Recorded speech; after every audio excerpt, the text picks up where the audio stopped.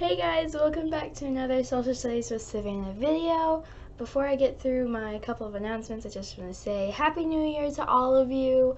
Uh, thank you so much for supporting us, for me, and my brothers and sisters throughout 2019, and for uh, liking and subscribing, and for using our videos. That means a lot to us that you'll actually watch our videos and I just want to say you can be expecting a lot more in 2020 more videos more quality uh, uh, more videos. Like I don't know what else.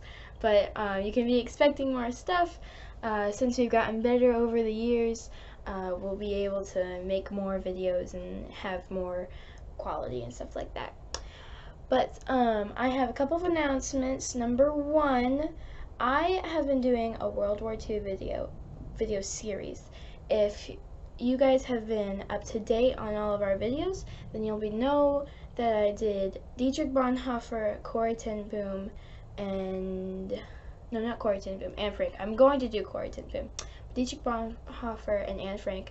I also made a World War II video as an overview of World War II. It's like 19 minutes long because World War II is really long and a lot of details. But if you want to watch that, and I know some of you younger kids won't, but if you're doing it for school or something, then you'll need to turn off restricted mode. That is because, uh, apparently because World War II is a sensitive subject, it YouTube has taken the video off of YouTube completely. Like you won't even be able to see it unless you have restricted mode off.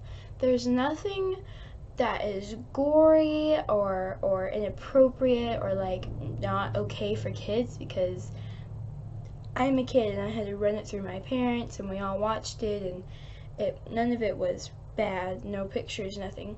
But apparently since World War II is a sensitive subject, then they've taken off. But I want, before you go off and turn off restricted mode, ask your parents, parents if you're watching this, you know, you can turn it off because you're in charge, but if your parents aren't watching this, uh, ask your parents first because obviously they have it on for a reason, and make sure that you turn it back on immediately after you watch the video, okay? Because you don't want to go and leave it off for a really long time and get in trouble or uh, see something that your parents don't want you to see on YouTube. But that's World War II overview. You have to turn off restricted mode. Number two, I'm going to be making a uh, Who Was Hitler video. Um, I was going to make it today, but there wasn't enough time to make it today, so I'll be posting that tomorrow. But um, most likely you will have to turn off restricted mode in order to watch it. Again, ask your parents, turn it back on immediately. Uh, it will be an overview of Hitler's life and what he did. Um, I'm going to be doing Hitler, Corrie ten Boom, uh, D-Day, maybe Pearl Harbor, maybe a couple more, and then I'll be done with this series.